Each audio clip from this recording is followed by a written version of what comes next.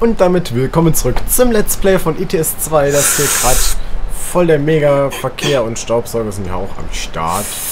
Jo, ich denke mal, wir können unseren Weg fortsetzen. Äh, Feststellbremse vielleicht.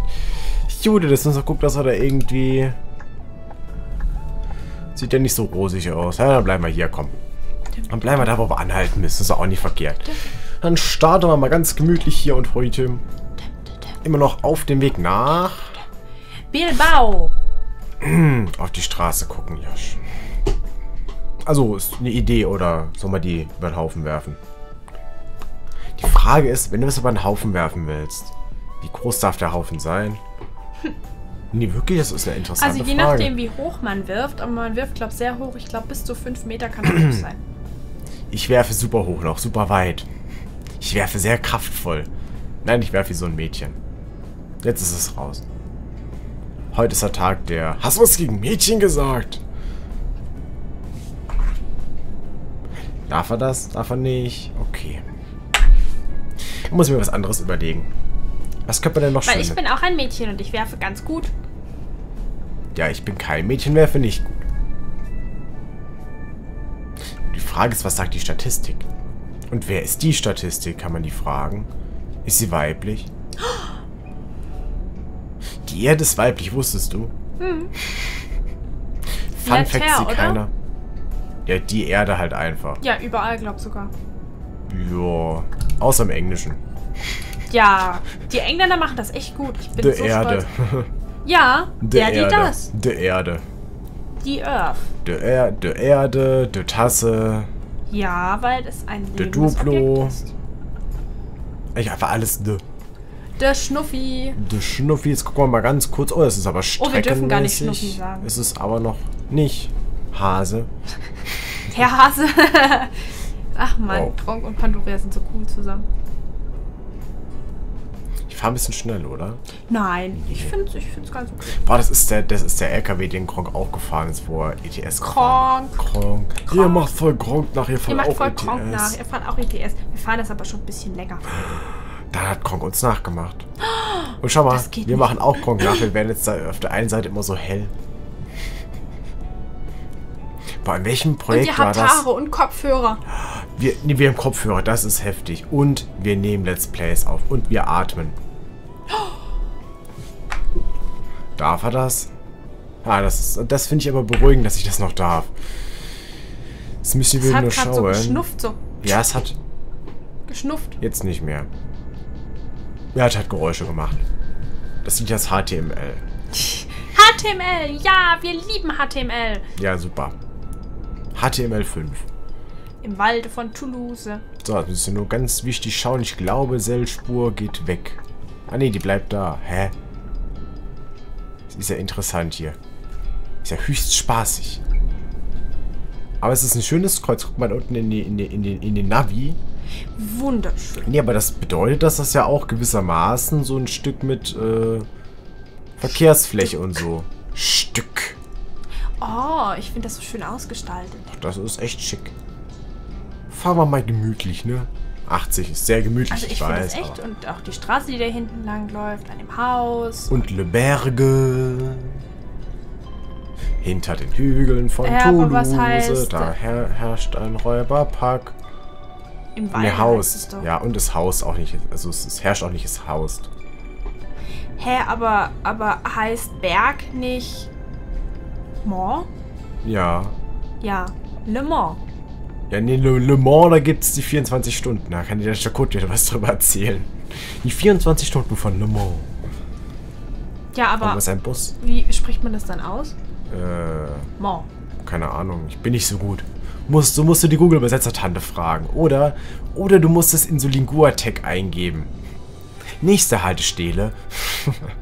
die dein Sohn Mist dann raushaut. So, das muss, möchte ich gerne überholen.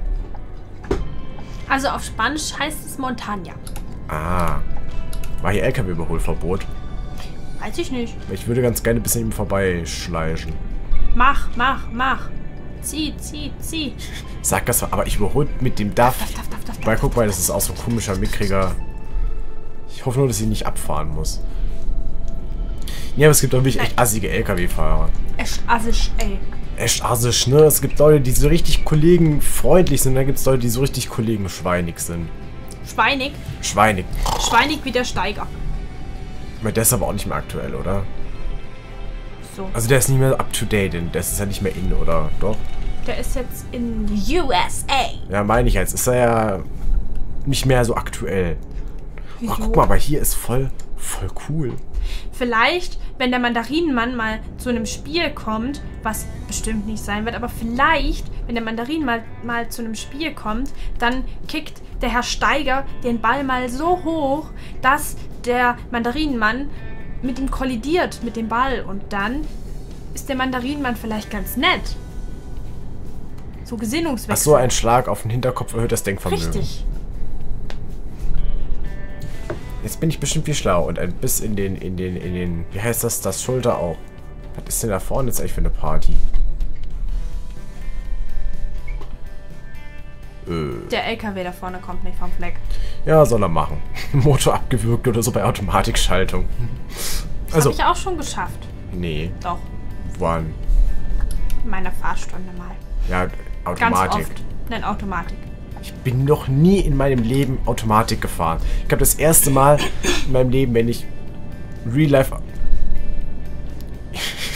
Gut! Aktives Mobbing nennt man das, glaube ich. Indem ich äh, wirklich Dings hier... Ähm, jetzt zieht der Rote raus.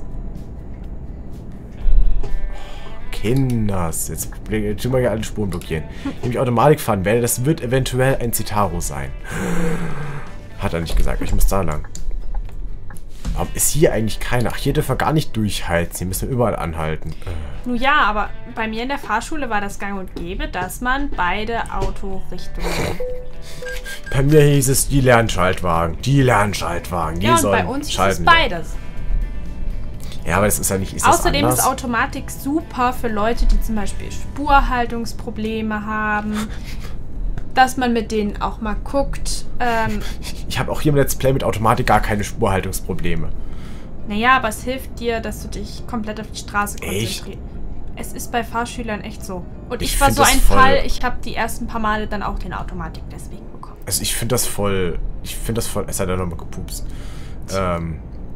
Ich finde das voll entspannt, nebenher zu schalten. Ich Sonst komme ich mir so nutzlos vor. Ja, du spielst auch schon länger Omsi, verstehst du? Ich davor ja nicht. Was hat Omsi damit zu tun? In Omsi lernst du viel zu schalten, nebenher zu gucken. Aber nur wenn du die richtigen Busse fährst, mit richtigen Dingern. Weil Das ich muss stimmt. ehrlich sagen, wenn du zum Beispiel, also beispielsweise, also alle Schaltgetriebe-Skripts, die vom O305 abgeleitet sind, kennt ihr ja, O305, der, da gibt es ja einige Busse, von denen der in das Schaltgetriebe-Skript benutzt wird, wie zum Beispiel die ganzen Busse vom Perotinus oder bestimmt auch noch andere. Aber gerade die äh, Busse von Perotinus, die haben ein echt eine super Umsetzung eines Schaltgetriebes. Ich weiß jetzt nicht, wie das in einem Bus ist, aber ich kann das nur vergleichen mit einem normalen Autoschaltgetriebe. Und da habe ich ja auch schon einige verschiedene äh, unterm Fuß gehabt. Und da muss ich ehrlich sagen, die sind von den Schaltpunkten her und generell so vom Fahrverhalten her sehr, sehr geil getroffen. Und vor allem, die fahren sich alle ein bisschen anders. Der O305, der schaltet sich anders als das O407 zum Beispiel. Also das ist echt klasse. Also wer wirklich so ein bisschen auch, bei wem jetzt vielleicht in den nächsten Monaten oder Jahren mal die Fahrschule ansteht und der so ein schniekes Lenkrad mit Gangschaltungshebel da rumstehen hat, fahrt wirklich mal Schaltwagen. Gerade so der O307, O407. Es bringt echt was. Es bringt echt was. Ich hatte das vorher noch nicht gemacht. Und ich äh, habe in der Fahrstunde, gut, ich habe jetzt nicht so viele Stunden gebraucht, wie die ich haben machen musste. Ähm, aber es kann trotzdem echt, echt hilfreich Hm. Was sein. jetzt ehrlich gesagt nicht so der Hammer ist, ist das Setra S215UL Schaltgetriebeskript. Das verzeiht eben sehr viel. Das ist genauso wie im ETS, das verzeiht dir alles. Also im ETS kannst du machen, Ja. was du willst. Da kannst du den Gang reinmachen, Kupplung, wupp, und das, und das funktioniert. Und Du kannst den siebten Gang reinmachen, flupp, oh, es fährt. nee, es ist wirklich so. Also ETS ist da nicht Und so der Hammer. hilft- es hilft der. Setra nicht. Und auch ähm, der Volvo zum Beispiel, für den Volvo 9900 gibt es auch ein Schaltgetriebeskript. Das ist auch nicht so der Burner. aber, wie gesagt, die O400 Ja, ja, die, also vom Perotinus die Genau. Busse, also da hat er echt, hat die er gute ähm, Arbeit können euch da geleistet. echt helfen, weil ich habe zum Beispiel gemerkt, ich Dann machst du das irgendwann voll nebenher. Ich muss aber eine Anekdote erzählen. Richtig. Und zwar, ich bin ja äh, OMSI 1 Kind. Also ich bin ja seit OMSI 1 dabei. Mal von 0 Euro bezahlt. Ähm, ich bin damit um sie 1 eingestiegen. Und damals war ja die Auswahl an Schaltgetriebebussen vor dem Z3S215 UL und vor dem O305 Add-on. Ich will jetzt nicht sagen spärlich, aber eigentlich quasi nicht vorhanden. Was machen die da? Doppelspurgeschleiche. Darf ich die mal schieben? Schieb. Ah gut, das funktioniert. Ähm, da war die Auswahl davor an Schaltgetriebebussen sehr mangelhaft. Und der erste Schaltgetriebebus in Omsi, den ich je gefahren bin, das ist voll lächerlich wahrscheinlich, ähm, war der Solaris Urbino 10. Äh, also der von, von, also dieser alte, der Omsi 1 äh, Solaris mit einer Schaltgetriebe-Mod. Und ja, es gab den Urbino 10 mit einer Schaltgetriebe-Mod. Ist bestimmt auch super realistisch. Ähm, das ist, musst du dir vorstellen, ist einfach halt so ein Stadtbus, wie so, wie so ein Citaro zum Beispiel mit Schaltgetriebe. Ja. Sehr realistisch. Hm. Ich weiß nicht, bestimmt ist einer, der sagt, oh, es gibt aber halt mit Schaltgetriebe. Ja, aber es ist halt einfach nur mal in 95, 99% der Fälle halt eben nicht üblich. Und deswegen, also das war wirklich mein erster Bus. Der war vom Schaltgetriebe her natürlich super erbärmlich, aber wozu das eben ganz gut ist, ist nebenher versuchen die Spur zu halten. Also das ist, muss ja nicht nur diese Fußarbeit sein. Ähm, ist natürlich später recht wichtig, dass du jetzt nicht, dass du halt das Gefühl im Fuß hast, dass du jetzt nicht das Ding abwirkst, sondern was eben auch sehr wichtig ist, ist das, was du vorher angesprochen hast, mit dem, dass das nebenher funktioniert. Richtig, dass, so Spur halten das- und gleichzeitig schalten eben. und auf die Straße gucken und das vielleicht andere, noch hier und das da. andere Fuß noch einsetzen, Genau. die andere Hand hier am Schalthebel zu haben und einfach was zu machen. Dafür gab es bei mir dann zum Teil einfach auch den Automatik. Ja. Oder für zum Beispiel eine Frau, die, die hat mit mir zusammen Fahrschule gemacht, ja. Die war im vierten Monat schwanger und sollte ihren Führerschein dann trotzdem noch haben, damit sie auch zum Arzt fahren kann. Und sie hatten aber nur einen Automatik. Und dann hat der Fahrlehrer einfach gemeint, okay, dann skille ich dich jetzt erstmal auf Automatik, dann brauchst du auch nicht so viele Fahrstunden und dann bist du noch vor dem Entbindungstermin fertig mit Führerschein. ja, Und gut. hat halt nebenher noch Theorie gemacht und so, aber genau. Ja, kann man alles machen. Kann man machen, muss man nicht. Aber ich kann jetzt auf jeden Fall ein Automatik fahren und ein Schaltgetriebe. Ja, aber ich denke mal, das in man schon auch Führerschein echt hin. Ich denke mal, dass auch Omsi als Automatikfahrhilfe, weiß ich nicht. Wurde ja auch in, im Laufe der Zeit eigentlich wirklich alles wesentlich besser. Das ist ja. Ja, du hast ja Anfang- gesehen, wie ich angefangen habe zu fahren. Ja, und vor allem auch gegen Anfang waren die ganzen Skripts alle noch so hm, hm, mittelmäßig. Aber mit der Zeit, dadurch, dass jeder so ein bisschen seinen Senf dazu gibt und auch Oh. Morphy hat natürlich sehr viel äh, dazu beigetragen. Welcome to Espana. finde ich das echt cool, in welche Richtung sich auch so das mit den Getriebeskripts entwickelt hat. Und das macht auch Das echt stimmt einiges schon. her.